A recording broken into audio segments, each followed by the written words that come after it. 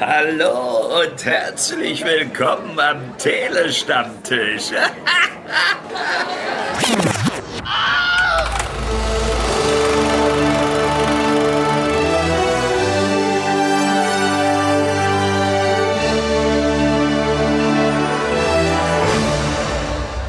Hallo und herzlich willkommen zum Telestammtisch zur Besprechung von Hokus Pokus und Hokus Pokus 2. Ich bin der Stu und ich hätte jetzt tausende Möglichkeiten gehabt, eine richtig fancy Einleitung zu machen, ein Cold Opening mit irgendwelchen Hexensachen, aber ich bin darauf jetzt heute nicht in der richtigen Stimmung. Aber vielleicht ist es hier Theresia. Hallo Theresia. Servus du.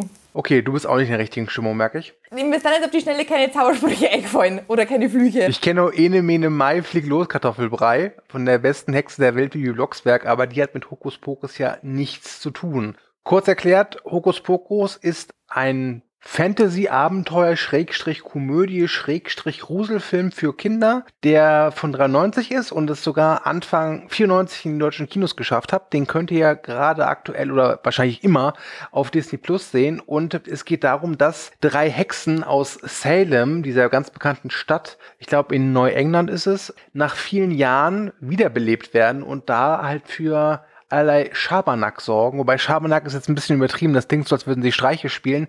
Nein, sie trachten den jungen Helden nach dem Leben, denn diese Hexen wollen jung bleiben und das erreichen sie dadurch, indem sie Kinder anzapfen.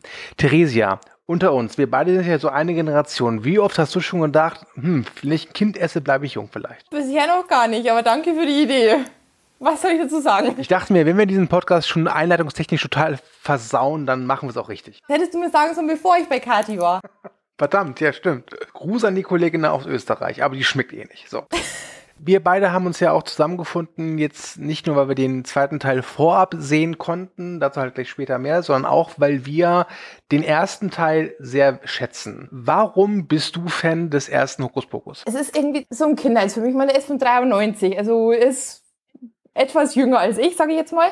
Und ich habe den halt, weiß ich nicht, ein paar Mal als, als Kind, als Jugendliche gesehen und der hat halt irgendwie, ja, ich würde nicht sagen, er ist, er ist gruselig oder unheimlich, aber er hat natürlich schon so ein paar Momente, wo du als, als Kind eventuell erschreckst. Aber es hat halt immer nur so was, wie soll ich sagen, so was Nettes, so was Familiäres. Ja, er hat sowas, finde ich auch, er hat sowas, sowas Uriges und vor allem, er kommt aus, aus so einer Zeit, wo man sich noch getraut hat, Kindern im Film Angst zu machen. Und es gibt ja diesen Film Hexen, Hexen mit Angelica Houston, der eigentlich ganz famos ist, wie ich finde, aber der halt mich als Kind damals so komplett traumatisiert hat. Und das ist auch ein Film. Äh, den fand ich als Kind echt sehr ja. gruselig. Also wirklich durch die Szene, wo sich die dann in die Gesichter ja. abziehen und du dann in, die in echt sitzt, das finde ich tausend, also das fand ich als ja. Kind ähm, tausendmal gruseliger als jetzt hier Hokus Pokus ja. 1.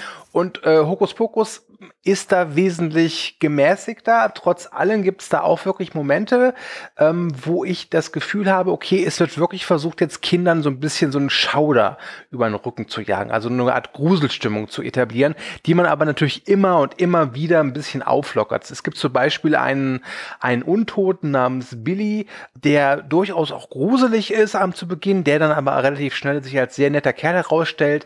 Auch das Thema Tod äh, wird thematisiert. Es gibt mehrere Stellen in dem Film, wo eine Figur scheinbar stirbt oder sogar wirklich stirbt und dann halt nur mit Magie wiederkommt. Das ist alles schon starker Tobak für die ganz kleinen Kinder. Aber ich weiß noch, ich ich war, glaube ich, damals zehn oder elf, als, als der rauskam ich ihn gesehen habe. Ich fand den wirklich toll damals. Und jetzt habe ich ihn nach langer mhm. Zeit nochmal gesehen. Und ja, ich finde, er hat schon ein bisschen Staub angesetzt. Aber trotz allem ist der erste Hokus Pokus ein Film, so eine Art Film wird heutzutage, finde ich, gar nicht mehr gemacht. Es, es war irgendwie so, so, es hat so Sonntagnachmittag äh, Kinderprogrammmäßig. Da gab es ja mehr so, so Filme irgendwie aus den 80er, hm. 90ern, die du da halt schön Nachmittag kurz anschauen können. Ja, es gab halt eben in dem Film, wie du gesagt hast, den Billy, der halt da hier dieser wiedererweckte ähm, Tote ist, aber er war schon irgendwie gruselig anzuschauen, aber er ist halt auch mehr oder weniger am Anfang immer so durchs Bild gestolpert mhm. und das, das hat es halt wieder irgendwie komisch gemacht oder so, dass man halt vielleicht nicht unbedingt so komplett äh, verschreckt von dem ist, weil die sag jetzt mal, fiesen immer so ein bisschen durch, durch den Film ja immer wieder reingelegt worden sind oder halt manchmal so als nicht die hellsten dargestellt werden. Von daher war das immer noch so, dann wieder so, so eine Abmilderung. Und es war halt irgendwie so ein, so ein gemütlicher Sonntagnachmittag-Film. Was ich ja besonders stark finde an dem ersten Hokus Pokus ist, wenn man so will, die, die Einleitung, der Prolog, die Etablierung der drei Hexen, die gespielt werden von Bette Midler, Sarah Jessica Parker und Kathy Najimy. Äh, wir sehen halt, wie sie ein kleines Mädchen entführen und ihr das Leben aussaugen und ihr kleiner, der Bruder kommt dann noch dem Mädchen zur Hilfe und wird dann noch verwandelt in eine Katze. Also es hat eine gewisse Art von Garstigkeit, aber nicht zu schlimm. Und vor allem durch diese Etablierung der Hexen zu Beginn wirken die auch immer ein bisschen bedrohlich. Nicht so richtig komplett bedrohlich. Also nochmal als Beispiel Angelica Houston in Hexen, Hexen, die war halt einfach nur furchterregend. So weit geht es mhm. bei den drei Hexen hier nicht. Trotz allem weiß man immer, wenn die auftreten, die sind eine Gefahr für unsere Helden. Das tut dem Film gut. Also man hat ein zumindest ging es mir als, Kind so, ich hatte nie das Gefühl, dass unsere Helden immer sicher sind. Das hat immer so eine Art Grundspannung erzeugt. Ich war auch wirklich jetzt bei der erneuten Sichtung des Films, ich habe den wirklich jetzt jahrelang nicht gesehen, durchaus wieder angetan, auch natürlich, wenn ich sagen muss, nicht alles ist gut gealtert. Definitiv, also ich mochte den jetzt auch, wo ich den wieder gesehen habe, auch so dieser, ähm, so, so scheinbar die Geschichte wiederholt sich, weil die, die neuen Protagonisten, also die, die aus Versehen die Hexen wiederbeleben, sind ja auch also dann auch ähm, älteren Bruder, jüngere Schwester, wo dann die Schwester eben in Gefahr ist und beschützt werden muss. Ähm, das ist halt auch nochmal dieser, dieser familiäre Touch, finde ich. Und ähm, ja, so wie halt eben die Hexen untereinander sind, sind die halt auch, ähm, tragen die halt auch zur Komik des Films dabei. Aber wie du gesagt hast, man weiß immer, wenn die in der Nähe sind, dann ähm, muss man den ähm, Jugendlichen schon irgendwie die Daumen drücken, dass alles gut ja. geht. Ähm, und was mir jetzt erst aufgefallen ist, jetzt wo ich schon fast 40 bin, ist, dass der Film, den kann man perfekt beschreiben, nämlich, stellt euch einfach vor, der Regisseur der High School Musical Trilogie und der Produzent von den Chucky-Filmen haben einen Film gemacht. Und das ist Hokus Pokus. Das äh, ist mir gar nicht aufgefallen. Aber ich finde, du merkst halt gerade beim Drehbuch, da hat auch ein Mick Garris mitgeschrieben, den äh, horroraffine Naturen sollten den Namen kennen. Das heißt, du merkst auch wirklich, dass da Leute am Werk waren, die auch wirklich Horrorerfahrung haben und auch wissen, wie, wie man sich dem Genre aufhält. Und dann halt eben mit dieser Regie, Kenny Ortega hat den Film gedreht, der halt, wie gesagt, später dann High School Musical gemacht hat. Ich finde, das ist eine, eine Mixtur, die auf dem auf dem Blatt Papier sehr weird und sehr unbrauchbar klingt, aber zumindest vom ersten Teil, finde ich, geht das größtenteils auf. Auf alle Fälle. Also muss gestehen, wir, also ich habe mich jetzt mit den, mit den Hintergründen und mit den Namen nicht so sehr beschäftigt, bin da nicht so vertraut. Aber ja, also ich hatte ein paar Probleme jetzt, aber bei der, bei der erneuten Zweitsichtung ist ja untertrieben. Ähm, aber ja, so ein paar Stellen merkt man, dass dann sich die, die Machart von Filmen doch etwas weiterentwickelt hat. Aber wie gesagt, also ich kann den immer noch ähm, anschauen mit den Augen eines Kindes. Das ist sehr schön. Ähm, also würde ich sagen, wir beide würden immer noch eine Empfehlung aussprechen für den ersten Hokuspokus. Definitiv. Ähm, dann würde ich mal sagen, kommen wir mal dann zum zweiten Hokuspokus, äh, der äh, exklusiv auf Disney Plus erscheint, wo auch sonst, und das am 29. September. Und ja, wir haben lange darauf gewartet. Ähm, und bevor wir jetzt, oder ja, und bevor wir jetzt darüber reden, wie wir ihn fanden, äh, Theresia, kannst du kurz sagen, worum geht es im zweiten Teil? Oh, es geht um die drei Sanderson-Hexen und die werden aus Versehen wieder belebt. Ja, das nenne ich mal pragmatisch. Doch. Das ist auf den Punkt gebracht, ja. Nee, ist aber so. Also natürlich gibt's da noch, äh, gibt's da noch ein paar andere, sag ich mal, äh, Details, Feinheiten, aber natürlich. Äh, ja. Dieser Film, ich sag's gleich vorweg, hat für mich nicht funktioniert. Es liegt an einer Sache und ich glaube, wenn ich das jetzt laut ausspreche, äh, wird mir, werde ich wahrscheinlich gecancelt. Und das wahrscheinlich auch mit Recht. Aber ich finde, dass dieser Film unglaublich mit viel Zwang und Druck versucht, äh, einem klarzumachen, hey, diese drei Hexen, das sind zwar Frauen, aber es gibt ja auch gute Frauen. Weil das wird ja im ersten Teil gar nicht behandelt. Das sind einfach drei Hexen und Hexen sind nur mal Frauen, es gibt natürlich auch Hexer und Zauberer, ja. Aber ähm, es, es ist ja wirklich so, dass dieses, dieses, sag ich mal, dieses, dieses urige mystische Bild von der Hexe ja meistens wirklich negativ konnotiert ist, außer es ist jetzt Bibi Blocksberg oder Bibi und Tina. Ist Tina eine Hexe? Ich weiß es gar nicht, ist ja egal. Ähm, Musst du unsere Experten fragen, ja. kannst du nicht beantworten. ähm, und ich fand, dass der zweite Teil jetzt alles versucht, halt äh, zu zeigen, ey, es gibt auch es gibt auch äh, äh, Frauen können auch Helden sein, was ja auch alles richtig ist und stimmt. Aber es wurde so zwanghaft reingepresst, dass ich weder die Heldinnen wirklich äh, mochte, das waren nämlich für mich keine Figuren, mit denen ich mitfiebern konnte, das waren für mich Abziehfiguren, noch die, die Hexen wirklich, weil die waren auch so aufgeweicht. Ich fand, dass die Sanderson-Hexen im zweiten Teil hatten für mich nichts mehr Bedrohliches und das lag nicht nur daran, weil der Film uns wesentlich mehr erzählt, wo sie herkommen und warum sie sonst, wie sie sind. Mhm. Ja, ich bin, ich habe ein bisschen gebraucht, bis ich jetzt in dem Film drin war, sag ich jetzt mal. Also ich mochte eigentlich die, die Heldinnen, sag ich jetzt mal, schon aber ich fand eigentlich manche Szenen sehr, sehr komisch oder wo ich jetzt nicht wusste, ob man da jetzt irgendwie krampfhaft auf, auf lustig machen wollte, zumindest wie sie da in den Supermarkt näher gegangen ist, dann wandern hier automatische Türen, Überraschung. Mhm. Ähm, das hat für mich jetzt geschwar, also ich wusste nicht, soll ich das jetzt als Komödie sehen oder immer noch als Gruselfilm oder, also ich war so hin und her gerissen. Ja. Also als Gruselfilm habe ich ihn tatsächlich gar nicht mehr angesehen. Ich fand, da war nichts Gruseliges mehr bei. Das, das muss man auch sagen. Ich fand, dass du gemerkt hast, dass sie sich da nicht mehr getraut haben, also zumindest auch zumindest ein bisschen so zu versuchen, äh, kind, äh, kindergeeigneten Horror zu integrieren. Das alles wirkte auf mich wirklich mehr wie so ein, ja, wie so, es gibt, es gibt so eine Filmreihe, glaube ich, die heißt Halloween Town, meine Oma ist eine Hexe. Mhm. Daran hat es mich mehr erinnert als wirklich an den Hokuspokus aus Anfang der 90er. Oder von Anfang der 90er. Mhm. Ja, es ist, ich, finde schon, also von, von der Optik her finde ich oder manchmal schon ähm, gute, ja, wie soll ich sagen, Horrorfilmbilder irgendwie gehabt oder wo du dann vielleicht diese Stimmung transportieren hast können. Aber ja, das drumherum hat es dann aber nicht geschafft, das ähm, wiederzuspiegeln, was, wir die, was mir die Umgebung suggerieren wollte. Ja. ja.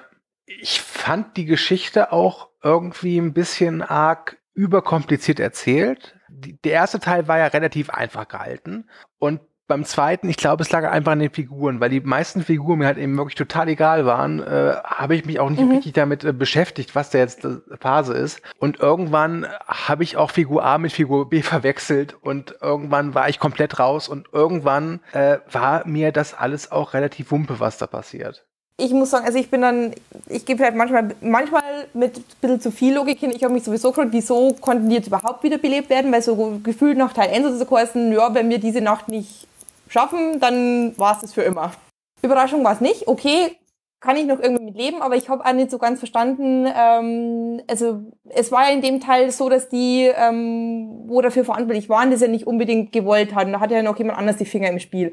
Aber ich habe auch nicht ganz verstanden, wie der auf den Gedanken gekommen ist, ähm, das zu wollen. Also, also die Beweggründe konnte ich nicht so ganz nachvollziehen. Also es war echt schwierig, ähm, die Story irgendwie für voll zu nehmen. Ja, äh, dazu muss ich auch sagen, hat es mich gestört, dass die Hexen wirklich eigentlich fast nur komplett nur noch Comic Reliefs waren, äh, die dann halt ab und zu noch ein bisschen singen durften, aber es gab es gab nie wirklich halt so das Gefühl, dass ich dass ich jetzt das, das spüre, dass da wirklich eine Gefahr von denen ausgeht. Das war mir alles auch viel zu albern. Du hast ja schon gesagt, diese, diese, diese Szene da mit der, mit der Tür, wo ich auch sage, ganz ehrlich, ich meine, das ist auch nur eine Nachäffung der Gags aus dem ersten Teil. Wenn sie im ersten Teil halt das erste Mal so eine asphaltierte Straße sehen zum Beispiel.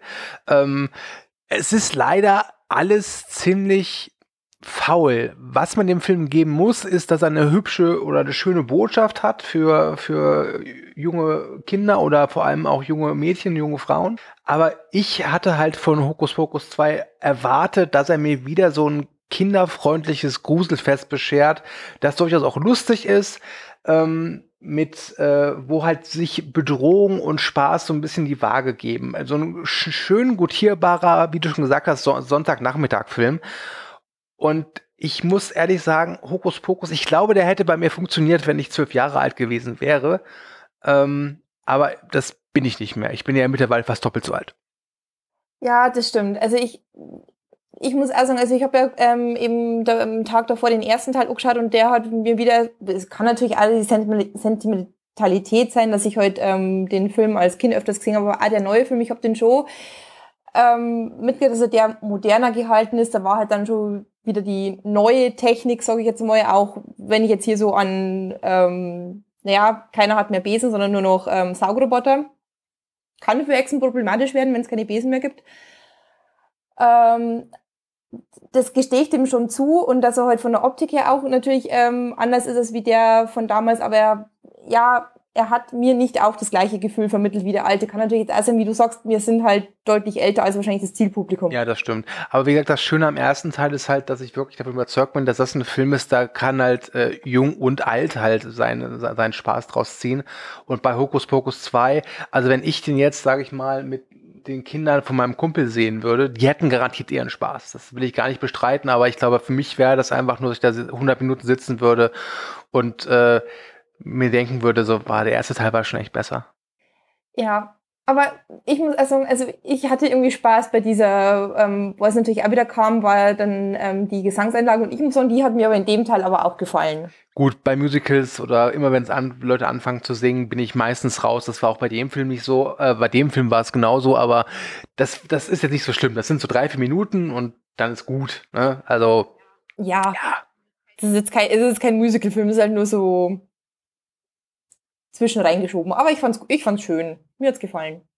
Muss auch sagen, ich finde den optisch ist der okay. Ich finde, der sieht jetzt nicht unbedingt nach Kino aus, aber da muss man ehrlich sein, auch die erste sah nicht unbedingt nach Kino aus. Ich glaube, dass der bei Disney Plus schon recht gut aufgehoben ist. Und genau wie du habe ich den ersten und den zweiten relativ zeitnah hintereinander geguckt. Und ja, also wer, wer Bad Midler, mit, äh, wer Bad Midler-Fan ist, der sollte da auf jeden Fall mal reingucken, weil die, die, die werte Frau macht ja nicht mehr so viel auf der, auf dem, ähm, auf dem Bewegtbildsektor, sage ich mal, was, was ich schade finde. Und von daher, ja, wenn ihr Disney Plus habt und ihr habt Kinder und es ist ja auch bald Halloween, dann könnte sich so ein Hokuspokus Doppelfeature durchaus anbieten. Ich will ehrlich sein, wenn ich mal wieder Bock habe auf Hokuspokus, ich glaube, dass ich den zweiten Teil dann eher auslassen werde vielleicht gibst du mir irgendwann noch mal eine zweite Chance. Aber ja, ähm, kann ich dir nur zustimmen. Also ähm, Familien, Popcorn, Sonntagnachmittag, sich die beiden Filme anschauen, das ist top. Ich fasse es mal wie folgt zusammen. Wir beide sind immer noch durchaus angetan vom ersten Teil, auch wenn der ein bisschen Staub angesetzt hat. Und der zweite Teil ist für Jüngere bestimmt ganz nett, aber für uns ist es nichts. Genau sehr, mehr kann ich dem jetzt auch nicht hinzufügen. Ja, würde ich jetzt einmal so sehen. Ich glaube, da sind wir uns ausnahmsweise mal einig. Ach, wunderbar. Dann hat dieser Podcast ja doch etwas Gutes. Wir sind uns einig. Gut, dann sind wir hier fertig. Dann bleibt mir noch äh, übrig zu sagen, denkt dran, den Telestammtisch findet ihr im Internet, wo auch sonst, auf tele-stammtisch.de, außerdem bei Social Media, Twitter, Facebook, Instagram. Und danke an dich, Theresia, dass du mit dabei warst heute. Ja, sehr gerne, habt mich gefreut, wie immer. Dann sage ich nur Tschüss und viel Spaß noch im Kino oder auf den Streaming-Seiten oder wo auch immer auf der Welt. Tschüss. Bis bald. Sehr geehrte Damen und Herren, wertes Publikum, liebe Hörende, vielen Dank für eure Aufmerksamkeit und Zeit. Ich hoffe sehr, euch hat gefallen, was ihr gerade gehört habt. Wir, die Redaktion des Telestammtisch, betreiben ein semi-professionelles Podcast-Projekt zum Selbstmitmachen. Also meldet euch bei uns, wir beißen auf. Außerdem freuen wir uns immer über Feedback via Social Media und E-Mail sowie euren finanziellen Support. Ebenso frohlocken wir förmlich über Bewertungen auf den gängigen Podcast-Plattformen. Wer möchte, darf uns gern immer und überall empfehlen. Alle relevanten Links findet ihr in den Show Notes. Vielen Dank und bis zum nächsten Mal. Euer Andi.